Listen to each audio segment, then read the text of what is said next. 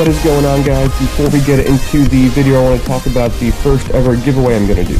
Alright, so a couple years ago I wrote this book.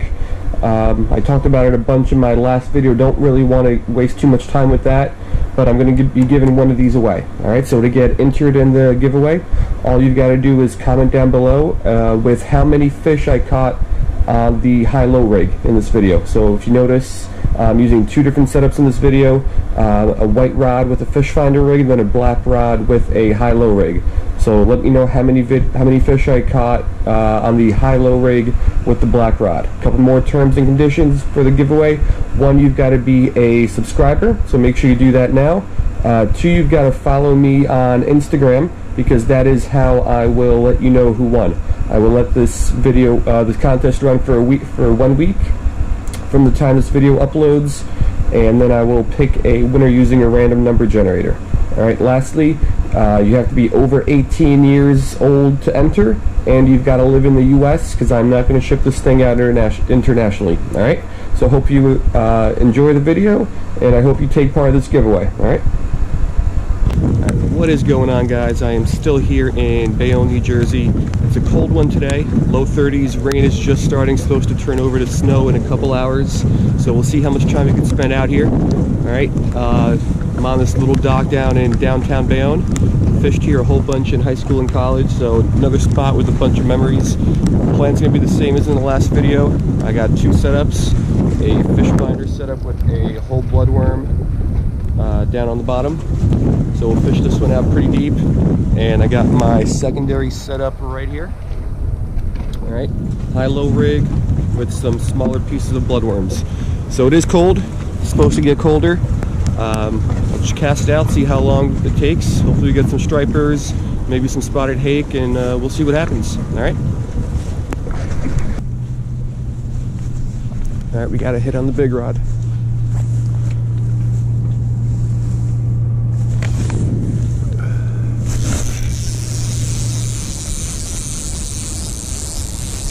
Not sure if I actually have a fish or not. If I do, it's going to be a small one.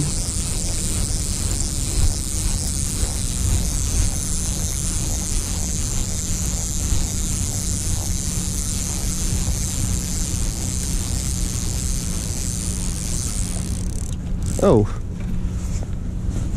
smallest striper of my life.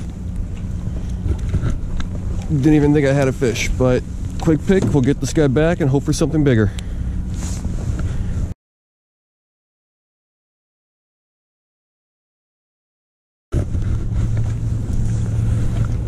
Alright, while I was releasing that little striper, I think I got a hit over on this rod.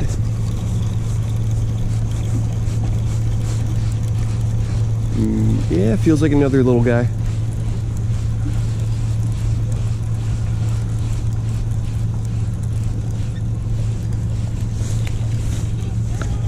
Another tiny, tiny striper. About the same size as the last guy. So, beautiful fish, but hopefully we can get something a little bit bigger coming up here.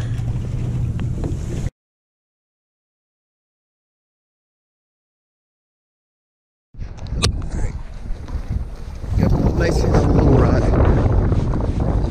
Should be a bigger fish than those last two little dink stripers not putting up much of a fight, so I'm not sure about that. Let's see what we got.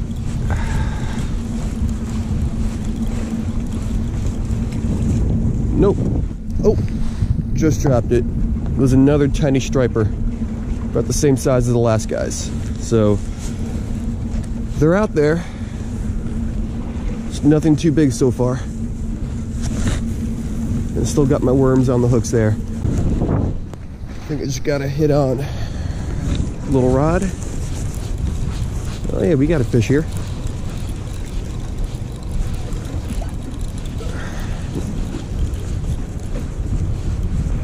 Not sure of the size. Putting up a decent fight, but I'm afraid it's to be another one of those little 8-inch stripers. Well, not an 8-inch striper, but I don't know, 10, 12 inches, so still super tiny. All right, still waiting for that big guy to show up. Not much size on this guy at all, but beautiful fish. Hopefully he grows up. Becomes that 40, 50 pounder people catch in a couple falls.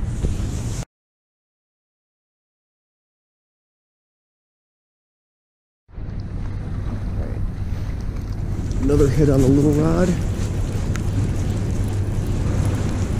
Uh, don't think there's a fish on here. Actually, you know? There might be. Might be another little dink bass. Let's check. Ooh, all right, new species for the day. It is not a dink bass. It is a little white perch. So same genus as the striper, just a little bit different. I mean, you can see the similarities between this guy and the striper. But like I said, same genus, different species. So pretty cool, different fish.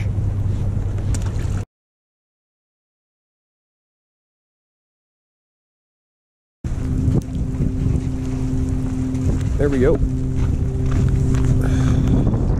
Giant fish on here. Probably another small one, not putting up much of a fight. see what we got. Come on, guy. Another white perch. Alright, not a striper. Same genus though, just like I was talking about earlier. Looks really similar, a little bit, uh, I guess you could say wider and no stripes, but other than that, pretty similar to a striper.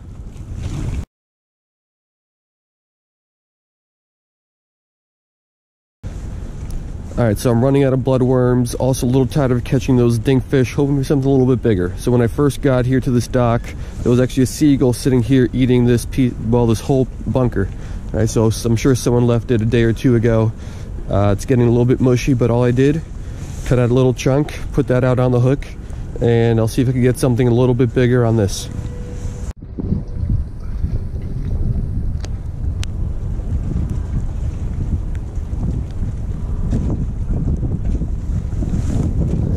I think we got something on the little rod. Maybe not. We'll reel it in and see. Doesn't feel like it.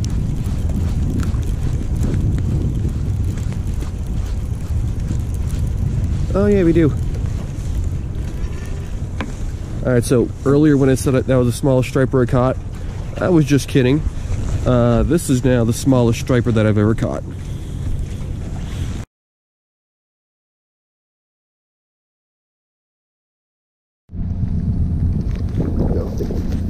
I think I had another hit.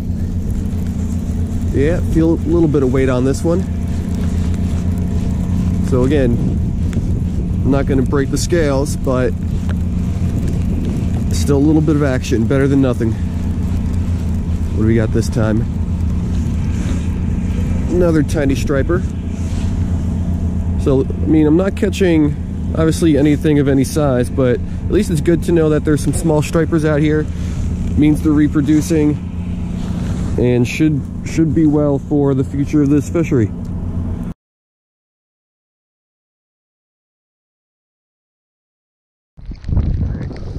On the sandworms again. Don't think I have anything on here. Might, oh, maybe I do. If I do, it's going to be another small one. Oh, definitely, yep, definitely something on here. Now it's fighting. Let's see what it is.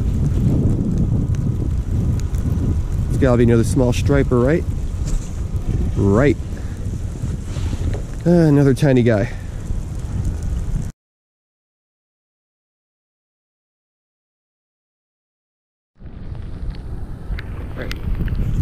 We got a fish on the little rod. At least I think we do. Don't feel it anymore. That's probably because it's only a four inch striper. So let's take a look. It is freezing by the way. Oh, we do have a fish. What do we got? It is a four inch striper. All right. Lost track of how many of these guys I got, but it's a, a bunch. Nothing huge, but again, good news. There's a lot of little fish out here, means they're reproducing well. So that's always good.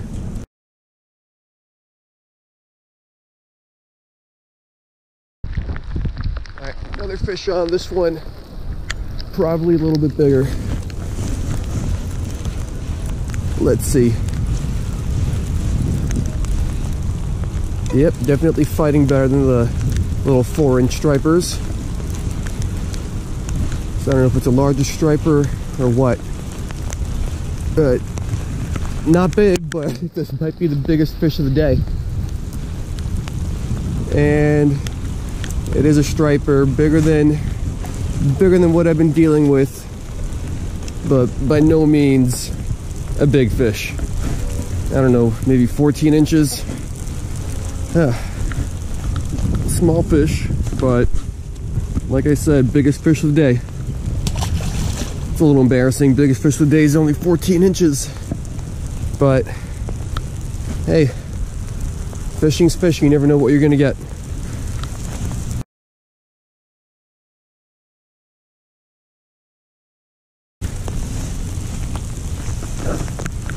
All right, rain's starting to come down a little bit harder and it's also hailing a bit. So I'm down to three small pieces of bloodworms. Once I'm out of those, call it a day. Got nothing on that bunker chunk so far.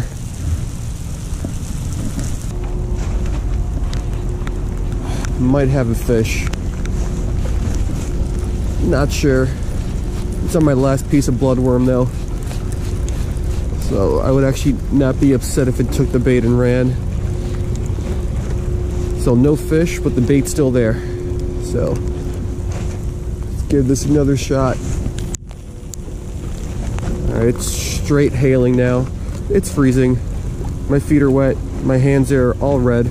Can't really feel my fingers. Couple more minutes and I'm calling it a day no matter what.